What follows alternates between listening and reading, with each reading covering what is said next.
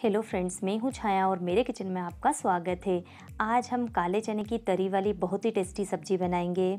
इस तरह से काले चने की सब्ज़ी को आप एक बार ज़रूर ट्राई करें। तो चलिए इसे बनाना शुरू करते हैं। वीडियो पसंद आए तो वीडियो को लाइक करें फैमिली और फ्रेंड्स में शेयर करें और चैनल पर नए तो चैनल को सब्सक्राइब करना ना भूलें। सबसे पहले हम एक कप काले वाले देसी चने लेंगे। चने में पानी डालेंगे। और अब हम इसे छः से आठ घंटे या ओवरनाइट सोख होने देंगे। छः से आठ घंटे चने को हमने सोख कर लिया है और चने अच्छे से फूल गए हैं। अब हम चने का पानी अलग निकाल देंगे और चने को प्रेशर कुकर में डालेंगे। साथ में डालेंगे तीन कप पानी, हाफ़ टी स्पून नमक, टू से थ्री पिंच मीठा सोडा और अब हम इसमें डालेंगे एक तेज़पत्ता, एक चक्री फूल, एक बड़ी इलायची एक टुकड़ा दालचीनी और अब हम कुकर का ढक्कन लगाएँगे और पाँच से छः सीटी आने तक इसे पकने देंगे।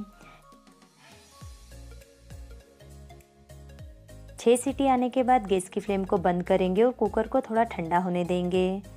कुकर को थोड़ा ठंडा होने के बाद अब हम चने को चेक कर लेंगे। चने को दबाकर देखेंगे। चने अच्छे से पक गए हैं तो अब हम इसे अलग रखेंगे। और अब हम गैस ऑन करके पैन में टू से थ्री टेबल स्पून तेल डालेंगे। साथ में टू टेबल स्पून बटर डालेंगे। बटर डालने से चने का टेस्ट बहुत ही अच्छा आता है, पर अगर आप चाहें तो इसे केवल तेल में भी बना सकते हैं। फ्लेम को हम लो रखेंगे। बटर के मेल्ट होने के बाद अब हम इसमें डालेंगे दो हरी इलायची, दो लौंग, आठ से दस काली मिर्च वन टीस्पून जीरा। कुछ सेकंड मसालों को भून लेंगे। और अब हम इसमें डालेंगे दो मीडियम साइज़ की प्याज बारीक कटी हुई।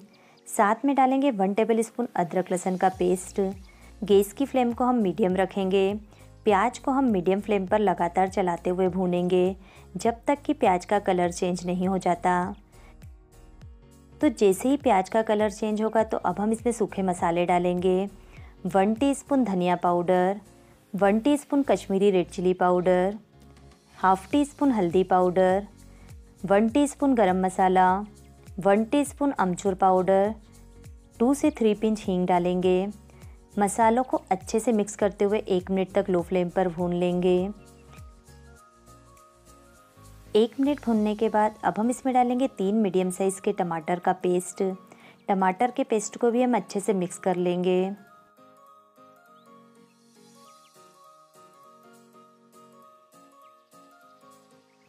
साथ में थोड़ा सा पानी डालेंगे। और अब हम मसाले को ढककर 10 मिनट तक लो फ्लेम पर पकने देंगे। बीच में मसाले को हम एक से दो बार अच्छे से मिक्स कर देंगे। 10 मिनट मसाले को हमने ढककर पका लिया है। एक बार मसाले को अच्छे से मिक्स कर देंगे। और अब हम इसमें डालेंगे चार से पाँच चम्मच पका हुआ चना, जिसे हमने मेशर की सहायता से मेश करके लिया है। इस तरह से चार से पाँच चम्मच चने को मेश कर कर डालने से सब्ज़ी की तरी बिल्कुल गाढ़ी बनेगी और चने की सब्ज़ी बहुत ही ज़्यादा टेस्टी बनती है। साथ में डालेंगे हाफ़ टी स्पून भुने हुए जीरे का पाउडर, वन टीस्पून कसूरी मेथी, जिसे हमने क्रश कर कर लिया है, थ्री से फोर पिंच काला नमक, थोड़ा सा सादा नमक डालेंगे। नमक हमने चने को पकाते समय भी डाला है तो नमक हम थोड़ा कम डालेंगे। सभी को अच्छे से मिक्स करते हुए इसे दो से तीन मिनट भून लेंगे। और अब हम इसमें चने डालेंगे। चने हमें पानी के साथ ही डालना है। और अब हम इसमें डालेंगे वन टीस्पून गुड़। गुड़ की जगह पर आप इसमें चीनी भी डाल सकते हैं। अब हम इसे अच्छे से मिक्स करेंगे। तो चने अभी थोड़े गाढ़े हैं तो अब हम इसमें एक कप गर्म पानी और डालेंगे। पानी की क्वांटिटी आप थोड़ी सी ज़्यादा या कम भी कर सकते हैं।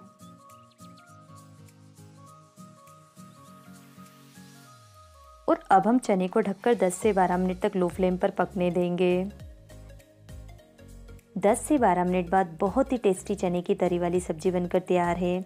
ऊपर से थोड़ा सा धनिया पत्ती डालेंगे और इसे सर्विंग बाउल में निकालेंगे। इस सब्ज़ी को आप पूड़ी, पराठे, रोटी या चावल किसी के साथ भी सर्व कर सकते हैं। बहुत ही टेस्टी सब्ज़ी बनती है।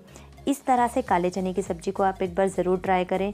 वीडियो पसंद आया तो वीडियो को लाइक करें फैमिली और फ्रेंड्स में शेयर करें और चैनल पर नए तो चैनल को सब्सक्राइब करना ना भूलें। Thank you